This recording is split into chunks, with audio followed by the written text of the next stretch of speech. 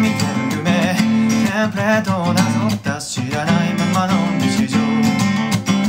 ハイテンポなアテンダンス消えない足りない落ち込んだ未来最終話が来たって言えない君は泣きそうほら目を閉じてうまい子なら一生帰り道もないでしょう次書いてた秘密に願う未来は平凡さあ手を鳴らせ線路で回った感